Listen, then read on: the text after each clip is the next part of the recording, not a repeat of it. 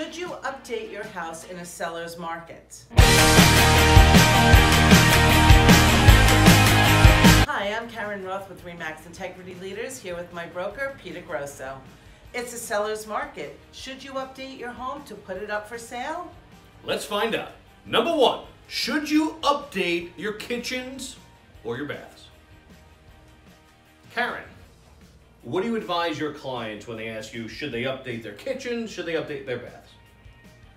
If it's a quick fix, maybe changing some knobs, maybe you're gonna do it. But if you're talking about gutting a kitchen, changing all the cabinets, countertops, just to put it on the market, are you going to get that return on investment? Typically, no. Is that's my opinion. Is that the when you're gonna when people want to make the kitchen that they always wanted for the last 30 years and then leave and they're not getting the money that they're putting back in and they're not getting the joy either. Absolutely. Do you want to put it in a $50,000 kitchen and then move? I don't think so. I'm not doing it. No. I actually did a video on taking my green Formica countertops and updating them with a product.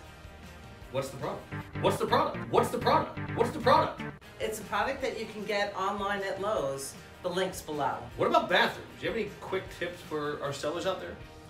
Yes, if you have that original bathroom, it's easy to change just a couple of things. Take a pretty shower curtain and hang it across, and changing a vanity, you can get a new vanity for under $300.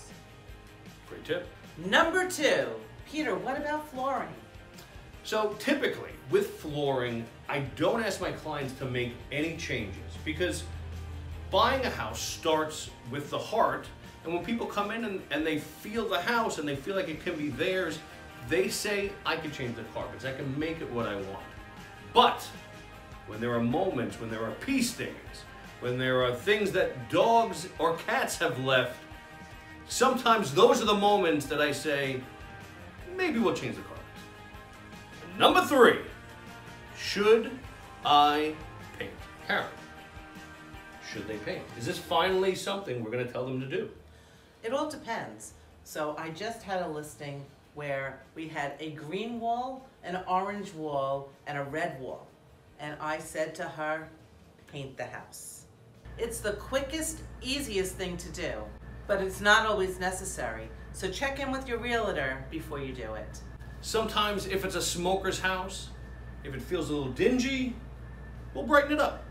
For more tips on selling your home, call me directly at 631 355 0316. I'll see you soon. If you like this video, make sure you subscribe to this channel, give it a thumbs up, and click the bell to be notified of my next post.